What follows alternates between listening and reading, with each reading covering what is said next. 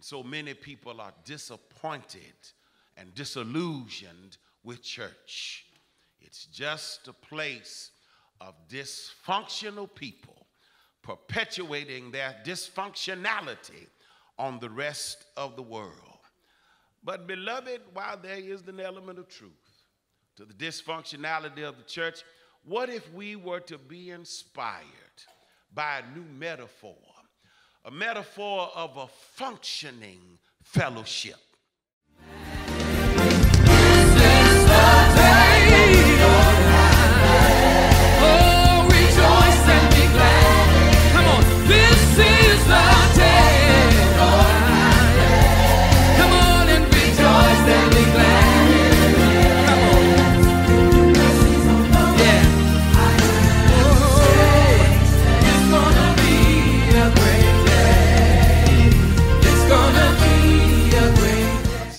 Together, Amen. Beloved, it's good to see you. Thank, thank you for braving the raindrops on this wet Sunday morning. We Baptists typically don't like to get wet but once. But we thank God that you are here today, and we appreciate your presence, and your sacrifice is duly noted. This is our emphasis day for fellowship. And so I want to direct your attention to a very familiar passage of Scripture, one that is not foreign to any of us who are students of the Word. But just because you know something doesn't mean that you ought not revisit it every now and then. And so I encourage you to come with me to the first letter to the church at Corinth, chapter 12, and commencing at verse 4 and concluding at verse 13, we'll find our preaching passage for today. You know that we have a long standing covenant over 17 years now, that a long scripture does not equate to a long sermon. That is, if you help me. Amen. Y'all remember the contract. All right. 1 Corinthians chapter 12, beginning at verse 4, we find these words. Now there are varieties of gifts, but the same Spirit. And there are varieties of services, but the same Lord. And there are varieties of activities, but it is, it is the same God who activates all of them in everyone. To each is given the manifestation of the Spirit for the common good. To one is given through the Spirit the utterance of wisdom, and to another the utterance of knowledge according to the same Spirit. To another, faith by the same Spirit. To another, gifts of healing by the one Spirit. To another, the working of miracles. To another, prophecy. To another, the discernment of spirits. To another, various kinds of tongues. To another, the interpretation of tongues. All these are activated by one and the same Spirit, who allots to each one individually just as the Spirit chooses. For just as the body is one and has many members, and all the members of the body, though many, are one body, so it is with Christ. For in the one Spirit we were all baptized into one body Jews or Greeks, slaves or free, and we were all made to drink of the one Spirit. Thus ends the reading of the word. Amen. I want to talk just for a few moments from the subject the functioning fellowship. The functioning fellowship.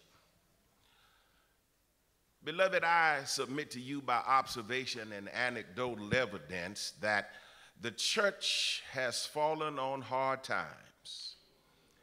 And for many of us, our perceptions of the contemporary church is one of dysfunction and disease.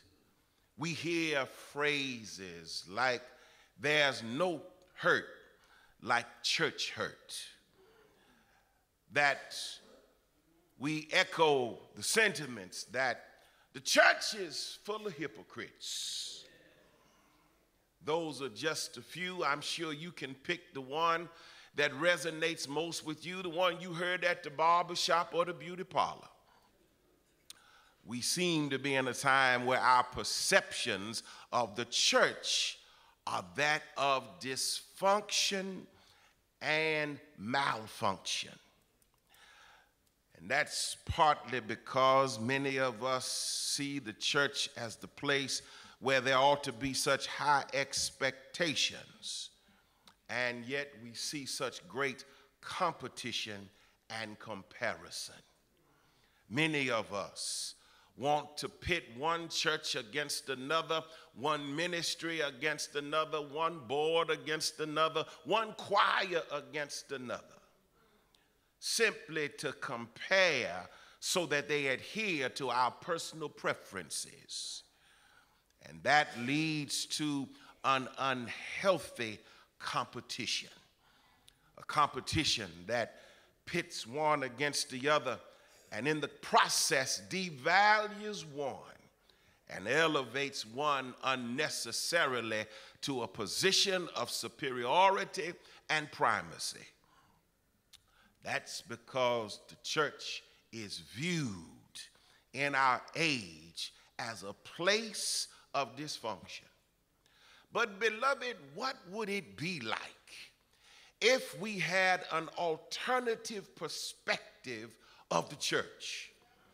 What if we had a view of the church that moved beyond what the late church historian James Melvin Washington deemed of we Baptists a frustrated fellowship and could move into a metaphoric reality that really gave us a church that was not frustrated, but one that was functioning? What would happen if we all saw the church as a place that was vital and vibrant and functioning. Now, I need to issue a caveat here, beloved, because the church is to some degree dysfunctional. And that's because there are dysfunctional people in the church. From the pulpit to the pew, even to the pavement, there are no perfect people. And when you walk through the doors of the church, you don't become a saint overnight. You bring your grief, you bring your woes, you bring your hardships, you bring your quirks, you bring your sins all to the church. Because there are no perfect people. But what if we had a metaphor that could look beyond our imperfections and idiosyncrasies and could view the church as functioning properly? That's what Paul does here to this Corinthian church. A church that indeed was mired in competition, mired in dysfunction, and bogged down in personal preferences. For there, the church was so divided into little cliques that they uh, gathered themselves unto their own silos by saying, I am of Paul, I am of Cephas. Some said, I'm of Jesus. But they forgot, beloved, that the vital instrumentality of the church, as Paul reminds them, is that there are many members but one body. He uses this metaphor of the body to extol for us the value and the virtue of a functioning church. It is believed by some scholars who have excavated the landscape of Corinth that Paul got the metaphor by walking through the streets of Corinth. For in Corinth, a seaport town, there was a temple to the god of Aeschylus, a god in the Roman and Greek pantheon that was the god of healing. And it was the practice among the people there in Corinth that they would make a cast of whatever their dysfunctional body part was and lay it at the temple of Aeschylus as a way of devotion and prayer so that whatever ailed them might get healed. And so, even now, if you go to Corinth, there in the museum at Corinth, you'll see cast of body parts from the first century arms that have been maligned, other body parts, genitalia that have been deformed because of sexually transmitted diseases. It's all distorted. But as Paul walked through the streets, and saw the various cast of, of maligned and malformed body parts, he took upon himself to say, Of the body of Christ, there are many members, but only one body. And in order for that body to function properly, every part must play their part. He reasons with them and says, Now, what if the ear wanted to be like the toe? And what if the fingers wanted to play the role of the nose? You would have a dysfunctional functional physical composition. But if the body is to work like the body is designed to work, then the nose has to be about the business of smelling and the fingers must be about the business of feeling. The arms must be about the business of lifting, and the feet must be about the business of holding up the body and moving about by walking. Only when you do your proper part does the body work as it is designed. And beloved, that is a vision of a functioning fellowship. There is, according to the apostle, a diversity of gifts. A diversity of gifts. Not everybody has the same gift. But I tell folk all the time that I can't do what I'm supposed to do in the pulpit on Sunday unless you do what you're supposed to do in the pew Monday through Saturday. We can't function without everybody's cooperation. And when you play your role and we don't devalue anybody's role, then we have a functioning fellowship. And because we are so prone to hear to receive accolades and to hear our names called. We often do things not to function, but to gain glory. But I submit to you this morning that when you get to the point where you just want to serve God by doing whatever you do and do it well and do it to the glory of God, honor will come to even, as Paul says, the most undistinguished, indistinguished parts, for they receive the greater honor. So, what makes the body functional? What, what, what makes this metaphor provocative as a fellowship that can be functional? Well, the first thing that I see here that many of us fail to recognize is that every member of the church is gifted. Y'all not walking with me. Every member is gifted. Y'all still ain't feeling me. I said, every member is gifted. We often assign giftedness to the clergy and to those in leadership, but I'm here to burst your proverbial bubble. Every member has at least one gift. Oh, I don't know what your gift is, but my Bible tells me there are a diversity of gifts. And so, whatever it is you can do, do that to the glory and honor of God. Everybody has a gift. Problem becomes when you begin to compare your gift to my gift or somebody else's gift. I'm not as eloquent as the clergy. I'm not as wise and prudent as the seniors. I don't have the youthful vitality of the young. And so I'm just going to sit down and do nothing. But I want you to know that, baby, you got a gift. And, and, and your gift will make room for you in the body of Christ. You have a gift. God has given you something unique to you.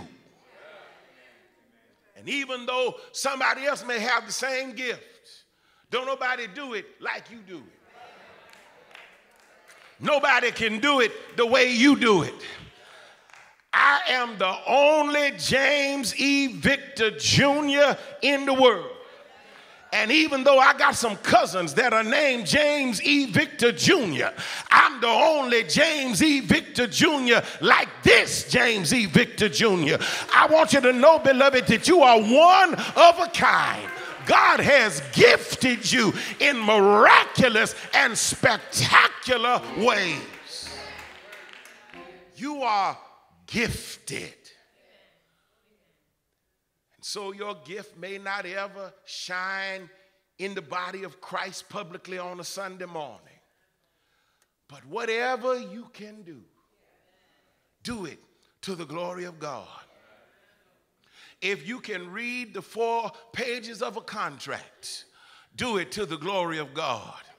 If you can sweep floors like nobody else can sweep floors, do it to the glory of God.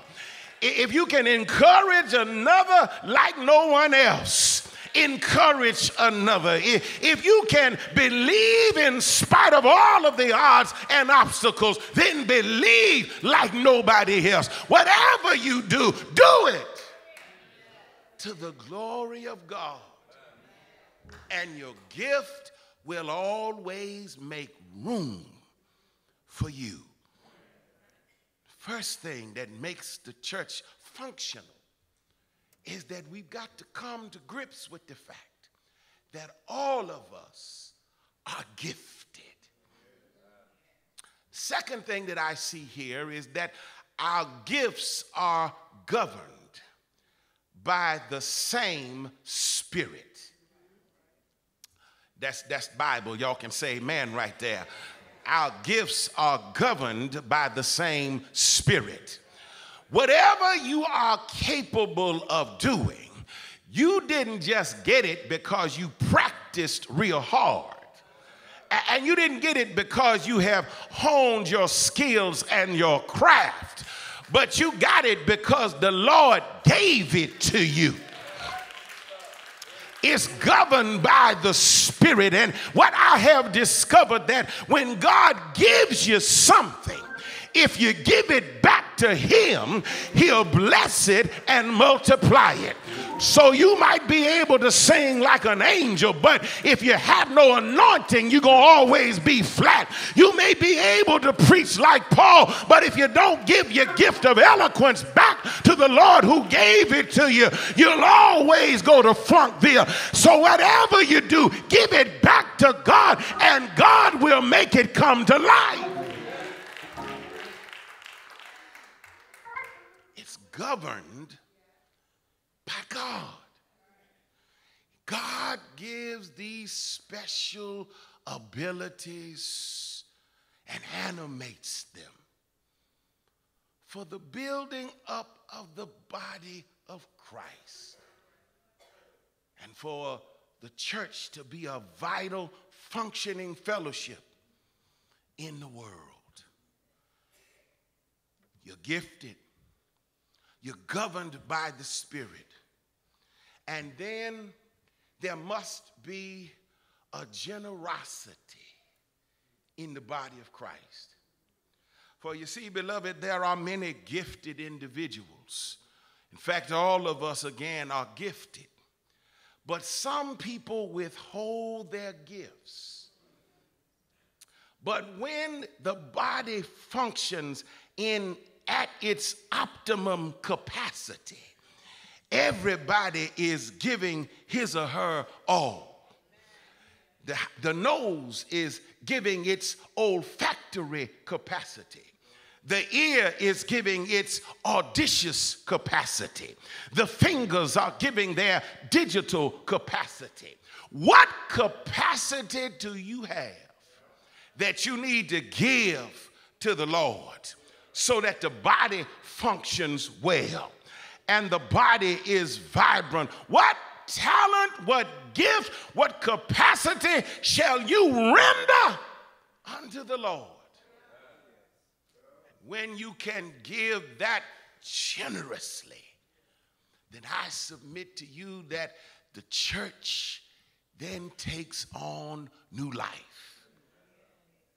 Too many people sitting around with gifts, and the church is not functioning as it ought. But with a spirit of generosity, then we move to new levels of capacity. What do you have? What do you have? When God wants something from you, that is the penetrating question. What do you have? When Moses was leading the children across the Red Sea, the people were complaining because there were mountains on both sides. Pharaoh's army was in hot pursuit. The Red Sea blocked their forward progression. Moses cries out to the Lord, and God's question is not one of deliverance, but one of capacity. What do you have? Which required Moses to do some inventory looked around and said, All I got is a stick. And the Lord said, Well, stretch out your stick. And when Moses stretched out his stick, the Bible says an east wind came and stacked up the waters and the people marched forward on dry ground.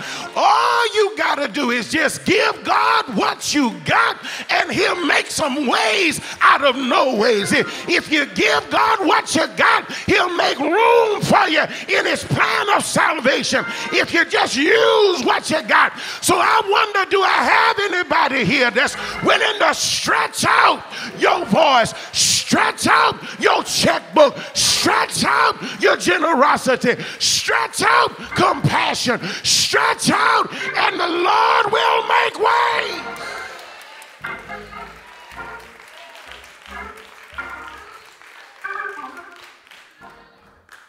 Functioning fellowship gives generously.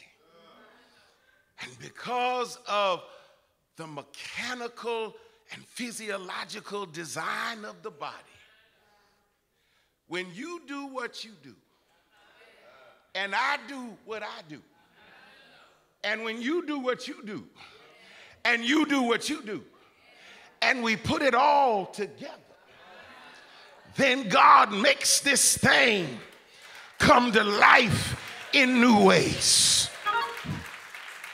But the converse is also true that if you do what you do, then when I can't do what I do, there's still a vitality to the body of Christ because there's somebody that has your back. So, beloved, when you can't sing, there's somebody that can make a joyful noise when you can't give. There's somebody with a spirit of generosity that'll give what you can't give. When you are saddened, there's somebody with a spirit of hospitality that'll welcome the stranger with a smile when you can't. When you do what you can, and there's somebody that can give a word of encouragement. There's somebody that'll pat you on the back and remind you that, baby, it'll be all right. When you put what you got in, I put what I got, and it all comes together with a dynamism to deliver the kingdom of God to the world. And we do that, beloved, because we are not isolated, according to the text, from the head of the church. For we are baptized into one body by the one spirit. And because there's the head of the body. I know y'all think that the pastor is the head of the church, but I didn't die for you. I ain't got no nail prints in my hand, and I, don't have any scars on my on my brow. But but there's one. When we act like he acts, then the body takes on new life. So he's the one that when I'm sad, he's my joy.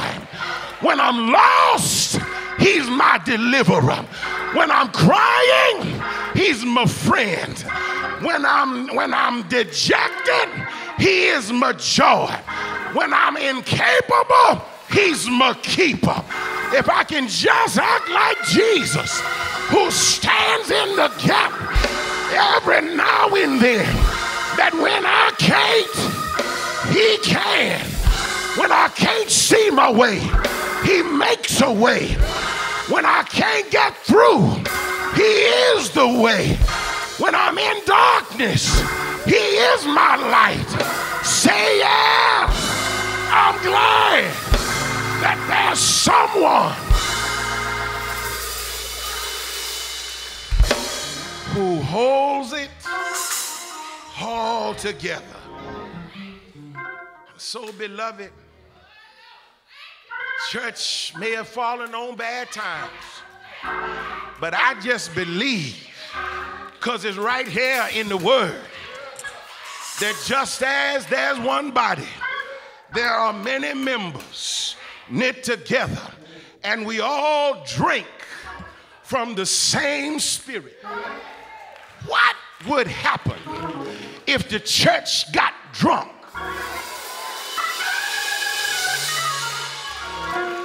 What would happen if we got drunk not on Dom Perignon or that might be too high for some? Let me bring it down. What happened not on Mad Dog 2020? But what if the church got high as Cooter Brown on the life giving Spirit of God? Let me, let me see if I can't make this thing plain. Ha- have you ever seen somebody get toe up? I mean, sure enough, toe up. A- And when they get drunk, they often do the opposite of what their normal capacity and spirit and personality is. So the one that gets quiet, when he gets full, starts talking all the time. The one that was standoffish is not the one when he gets full. Is the one that wants to go hugging on everybody. What if the church was to get drunk on the spirit of the living God? We might start acting just like the body of Christ. If we got drunk on the spirit, then we start welcoming the unwelcomable. If we got drunk on the spirit, we start loving the unlovable. If we got drunk on the spirit, we feed hungry college children. If we got drunk on the spirit, somebody might catch on fire and burn with the Holy Ghost. I declare we ought to look up to heaven and say, Fill me. Y'all missed that. Fill me with your spirit. Fill me to overflowing. Fill me till my cup runs over. Fill me. Fill me. Fill me with your spirit, Lord. And I'll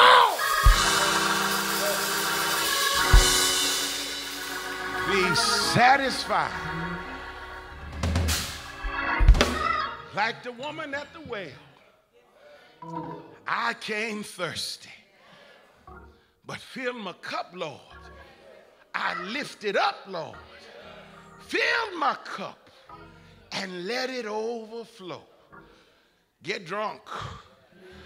That's not admonition and advice you usually get from the pulpit. But I'm not talking about getting drunk on spirits with the little s. I'm talking about an inebriation that comes on the big S. Yeah, fill me with your spirit, Lord. And we will then be a functioning fellowship. There may be somebody here today.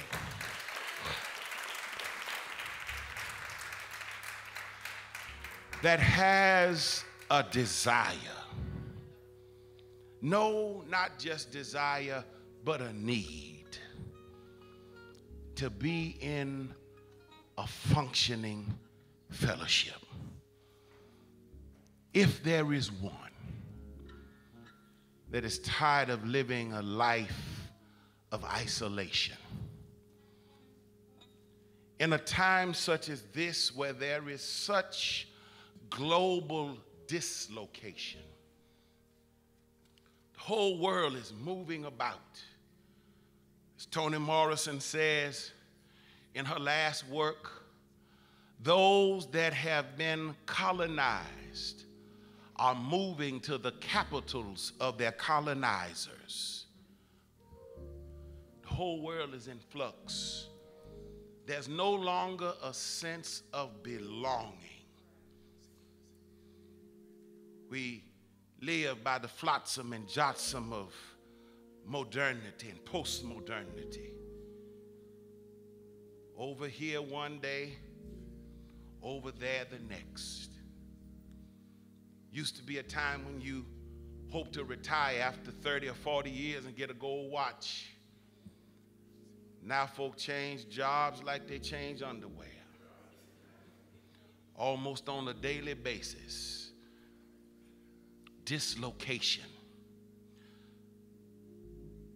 And so there's a deep longing to belong to something that has a degree of permanence.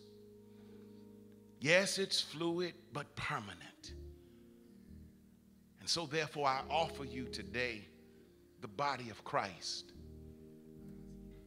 It's been around now for two millennia. Sometimes it's been wrong, and sometimes it has been the moral compass of the world. Sometimes it's been oppressive, and yet there are times when it has been used for the liberation of the oppressed. But it's still God's church. And Jesus Christ is still its head. And so I offer you today admission into the body of Christ. It's rather simple. It doesn't require a marriage certificate. It doesn't require some initiation ritual, some secret initiation ritual. You don't even have to have or know a handshake. All you really must do, according to the Bible, is believe in your heart, confess with your mouth, do the will of God as a demonstration of your salvation. If there are those today that need to be a part of something that is functional, then we invite you to come. Cast your lot among the people of the Mount Olive Church, but more importantly, begin to foster a relationship with the Lord Jesus Christ. We extend now to you that invitate the invitation of an open door to become a part of this fellowship as it is an iteration of the universal fellowship called the church. You may come by baptism, by letter, or by Christian experience. Really doesn't matter how you come. But if you feel the need for the transcendent figure of Jesus Christ in your life, then we implore you come As the choir sings, the invitation has gone out. Those who will respond are welcome to do so now by simply stepping out of the pew and coming down the aisle to state your intention to become part of the family of the living God. If you're here today, we invite you to come.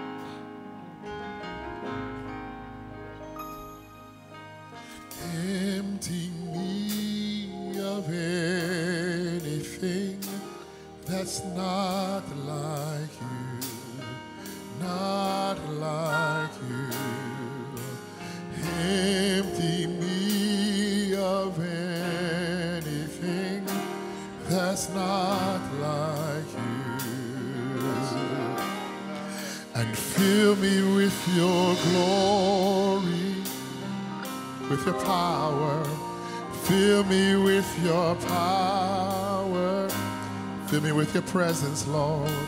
Fill me with your presence.